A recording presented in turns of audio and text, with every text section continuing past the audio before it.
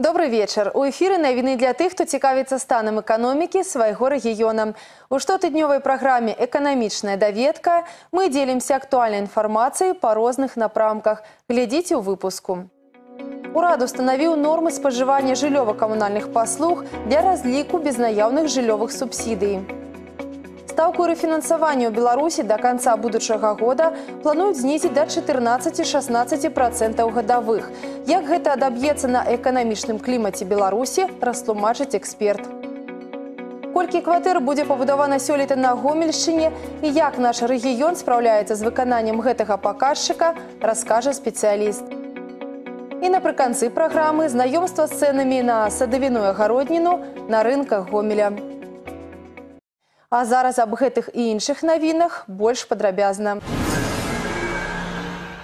Урад Беларусі установіў нормы спажывання камунальных паслуг для разліку безнаяўных жыллёвых субсідый.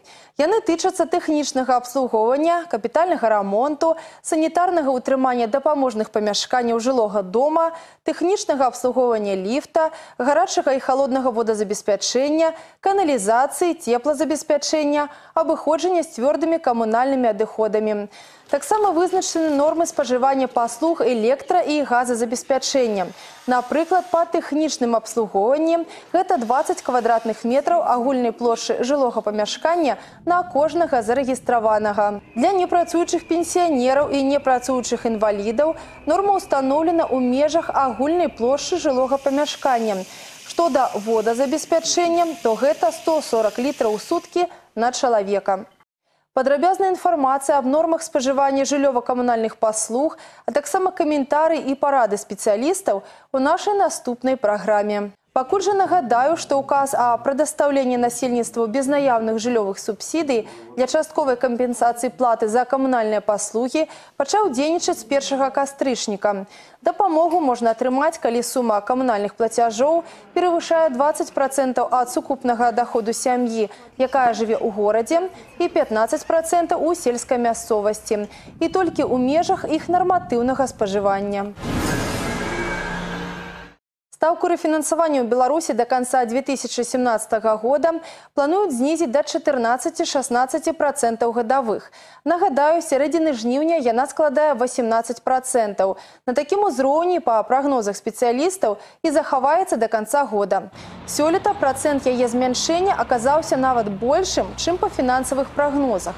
Так, з 1 ліпеня Нацбанк знізіў стаўку рэфінансавання на два пункты з 22 до 20 процентаў гадавых. З 1 мая таксама на 2, з 24 до 22, з 1 красавіка на 1, з 25 до 24. Да гэтага стаўка рэфінансавання мянялася толькі летась у студзені. Тады яна не знізілася, а наадварот павысілася на 5 пунктаў з 20 до 25 процентов годовых. Основная задача, которая ставилась при снижении ставки рефинансирования, это снижение процентных ставок на денежном рынке. Такая мера позволила уже с начала 2016 года снизить среднюю процентную ставку по кредитам, которые выдаются юридическим лицам, с 34 до 23%. Это очень большое снижение, и мы можем ожидать, что вот такие меры будут способствовать активизации экономического развития. Тем более, что э, мы имеем достаточно э, отрицательные сегодня э, величины динамики нашего волового внутреннего продукта. Последние цифры, которые озвучили статистические органы статистики, это снижение ВВП на 3%. Поэтому активизация экономического роста, она очень своевременна, и ну, такая мера действительно эффективна и нужна для экономики сегодня. Зразумела, эканоміка гэта жывы арганізм. Таму дакладна спрагназаваць, што стаўка рэфінансавання будзе толькі зніжацца, нельга. Знешнія фактары могуць справакаваць і яе рост. Возможно такие меры, но вместе с тем многие аналитики сегодня говорят, что все-таки снижение процентных ставок по кредитам, на которые влияет ставка рефинансирования, способно оживить экономику и активизировать экономический рост, способствовать развитию малого и среднего бизнеса. Ну и, конечно, это тогда только можно будет вести речь о том, что э, экономика Республики Беларусь сможет преодолеть такие кризисные явления и показать положительную динамику. Увогуле, асноўнай мэтай грашова-крэдытнай палітыкі на будучы год застанецца зніжэнне тэмпаў росту інфляцыі да ўзроўню не вышэй за 9%. Да іншых тэм. Забудоўшчыкі павінны будуць абслугоўваць жылыя комплексы на працягу 5 гадоў. Так, пасля здачы дома забудоўшчык павінен прыняць яго ў эксплуатацыю і на працягу азначанага тэрміну не перадаваць жыллёва-эксплуатацыйным службам. Напрыклад, так ужо робяць у мінскім раёне. Па словах спецыялістаў, такі падыход павінен дзейнічаць для дамоў любой ступені камфортнасці, ад прэміум да эканом-класа. Гэта пытанне надзвычай актуальнае, паколькі жыллё ўзводзіцца актыўна, але і будаўнічых хібаў дастаткова. І не заўсёды яны становяцца відавочнымі ў першыя два гады, на працягу якіх зараз дамы знаходзяцца на абслугоўванні забудоўшчыкаў. А зараз крыху статыстыкі. Сёлета ў гомельскай вобласці пабудуюць амаль 450 тысяч квадратных метраў жылля. На 80% план паспелі выканаць. У рэгіёне з'явілася звыш 5 тысяч новых кватэр. Темпы э, строительства жилья в области э, превышают э, среднереспубликанские, составляют около 103%. И если в абсолютном выражении мы опережаем показатели прошлого года где-то на 10 тысяч квадратных метров. По темпам роста мы на первом месте в республике, где-то рядом с нами Витебская область. Больш як трэцяя частка жылля будуецца для грамадзян, якія стаяць на ўліку для паляпшэння жыллёвых умоў. Прычым каля 75% ад гэтага аб'ёму будуецца з дзяржпадтрымкай. Калі паглядзець на геаграфію забудовы, то яна размеркаваная наступным чынам. Основной центр строительства жилья в области – это наш, конечно, город. Э, на него приходится где-то 44% от общего ввода по области. И э, темп строительства, э, жилищного строительства в городе выше среднеобластного составил 110%. Впечатляющими темпами строится жилье также в Мозырском, Светлогорском районах. Там темпы строительства таковы к уровню 8 месяцев прошлого года.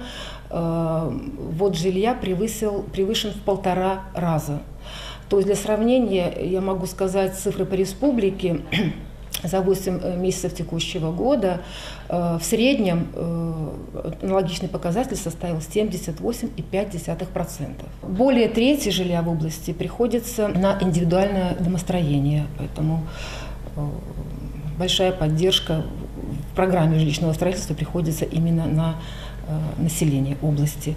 И я хочу сказать, что, в общем-то, программа жилищного строительства для нашей области вот, выполняется пока успешно. И мы надеемся, что она завершится успешно в этом году. Што да сярэдняга кошту квадратнага метру ў новабудоўлях, то зараз ён складае каля 700 дэнамінаваных рублёў. Працягваем выпуск. А зараз традыцыйнае знаёмства з цэнамі на садавіную агародніну на гомельскіх рынках. Цэны ад тых, што былі на мінулым тыдні, амаль не адрозніваюцца. Толькі заўважна падаражалі агуркі. Тыдзень таму іх можна было набыць у сярэднім па паўтара рублі, а зараз ужо па два з паловай. Бульба каштуе 35 да 75 копеек, кабачкі паўтара рублі. Цыбуля на абодвух рынках каля 50 копеек, Перац у сярэднім па 2 рублі. Памідоры ад 80 копеек да 2 рублёў. Паўрубля капуста белакачанная, каляровая 2 з паловай, броккалі 3. Яблыкі ад 80 копеек да 2 рублёў. Імбір 5 рублёў 30 копеек. Цэны на гэту і іншую садавіную агародніну ў табліцы.